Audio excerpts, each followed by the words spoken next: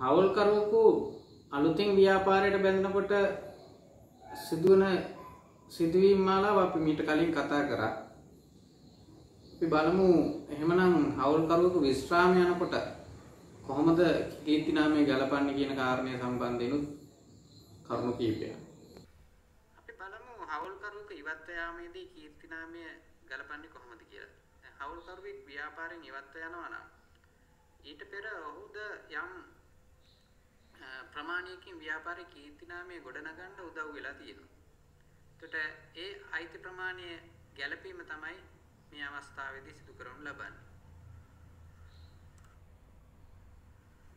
හවුල්කරුවෙක් ඉවත් වෙලා යනකොට ඉතිරි වෙන හවුල්කරුවන් භුක්ති විඳින ලාභය වැඩි වෙනවා.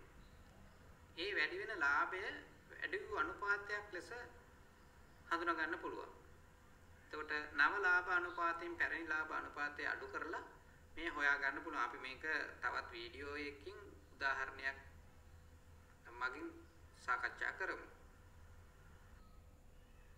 එතකොට හවුල්කරුවෙකු ඉවත් වෑමේදී කීර්තිනාමය ගැළපීමට අදාළ දිත්ත සටහන් බැලුවොත් පළවෙනි එක අපි බලමු මුළු කීර්තිනාමයේ ප්‍රාග්ධන ගිණුම් මගින් ගලපන අවස්ථාවේදී ප්‍රාග්ධන ගිණුමට නව අනුපාතයට අනුව හර කරන්න ඕනේ. ඒ වගේම ප්‍රාග්ධන ගිණුම බැර කරන්න ඕන පැරණි අනුපාතයට අනුව.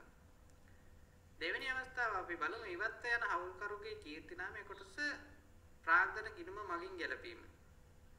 මෙතනදී ප්‍රාග්ධන ගිණුම හර කරනවා ලාභ වැඩි වූ අනුපාතයට.